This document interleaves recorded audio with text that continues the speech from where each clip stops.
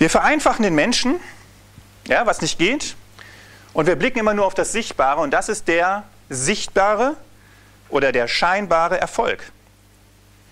Und das ist ja das, worauf unsere Managementstrategien alle ausgelegt sind. Ja?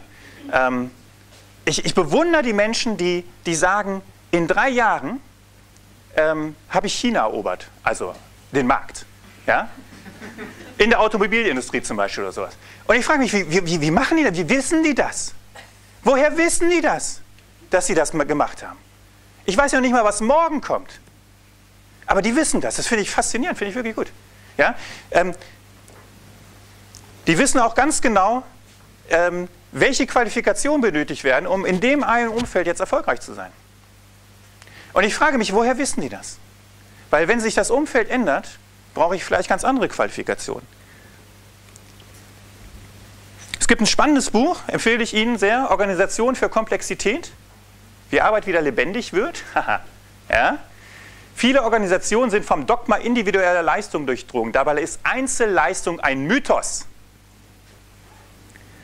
Aber wir wollen ja immer, wir suchen immer jemanden aus, weil wir sagen, der ist erfolgreich oder der war erfolgreich, dann ist er auch bei uns erfolgreich. Das ist ja die Garantie, die wir wollen. Wir wollen ja Sicherheit als Personaler oder als Fachbereiche.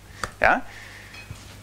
Und er hier sagt, pflegig, das ist ein Mythos. Einzelleistung ist ein Mythos. So, und dann habe ich ähm, mich mal weiter umgehört.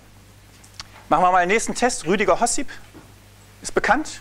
Hier bei den Studenten. Sagt der Name was? Na, ich habe gestern Peter gefragt. Er sagt doch, doch. Danke. Ist Eignungsdiagnostiker, ja, einer der Päpste der Eignungsdiagnostik in Deutschland. Der hat das BIP entwickelt. Mit dem habe ich mal vor ein paar Tagen gesprochen. Und ähm, der sagte mir, Zamrowski, das ist also Personalauswahl, ist in Deutschland ein Witz. Ja?